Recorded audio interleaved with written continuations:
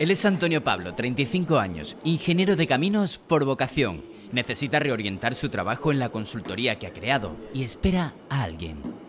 Francisco, jubilado, tiene 73 años, 42 de experiencia en grandes compañías de ingeniería civil.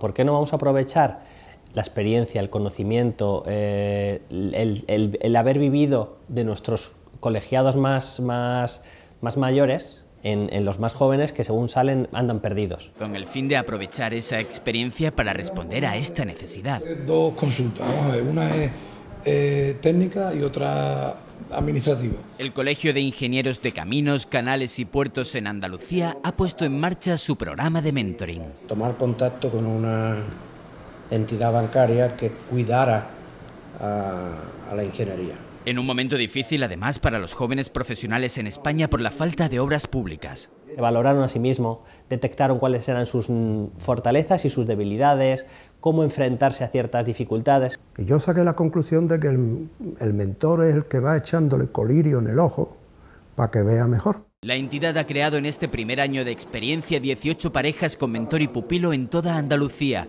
tres meses de encuentros como este.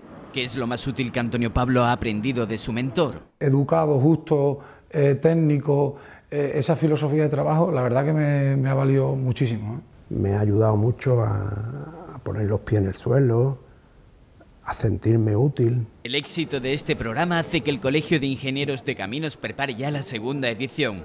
La primera de momento ya ha servido para crear una amistad duradera.